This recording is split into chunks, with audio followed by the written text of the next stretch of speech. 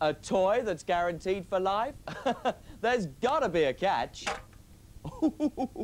Tonka heavy and mighty trucks are so tough that if anything ever goes wrong with one, Tonka will replace it, free